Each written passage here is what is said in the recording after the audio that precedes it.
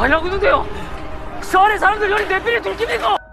비상 훈련을 가장해서 실내 대피령을 내리세요. 외부로 새는 정보를 차단해야 합니다.